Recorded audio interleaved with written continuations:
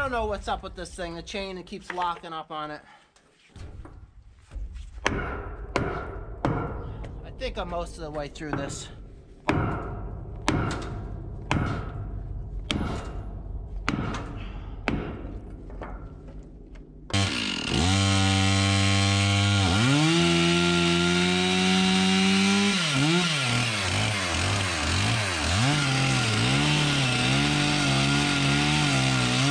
Think the cable. I don't think it's cutting the cables. The guy told me it was supposed to.